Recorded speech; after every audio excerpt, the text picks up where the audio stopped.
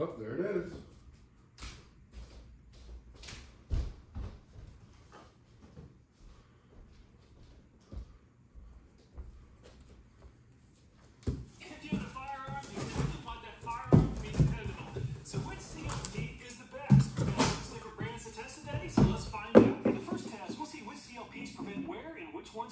We'll see which one's best at blocking corrosion. We'll see which ones do the best job of cleaning. At a price of $15 for 16 ounces or 94 cents per ounce is this Ballistol brand. Lubricates and protects firearms, lock, stock, and barrel. Designed for firearms, leather, knives, tools, locks, marine, Wood, metal, and rubber forms a field that protects against rust. We're going to test that. There's no information on the packaging regarding where the Ballistol is made. The U.S. military requires CLPs meet requirements that are spelled out in the MIL PRF 63460F. The MIL PRF requires that CLPs are tested using a lubricity tester. So let's kick off the first test using a lubricity tester that I built a while back. Let's first measure out a half ounce of the Ballistol. Throughout the testing, the amount of downward force remained the same for all brands. I'll first install a test pin in the lubricity tester and then we'll rotate the wheel until it's fully coated with the CLP. I'll then rest the test pin on top of the wheel. The test will last right at one minute.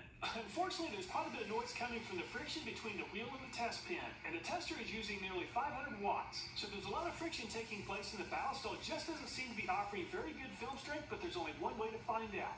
It's been right at one minute, so let's take a closer look at the test pin. And there's quite a bit of metal in the ballistol test cup. I